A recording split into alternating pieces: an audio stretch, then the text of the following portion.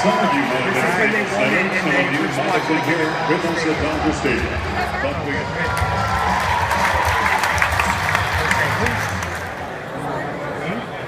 I can't believe how bad the A's are taking it.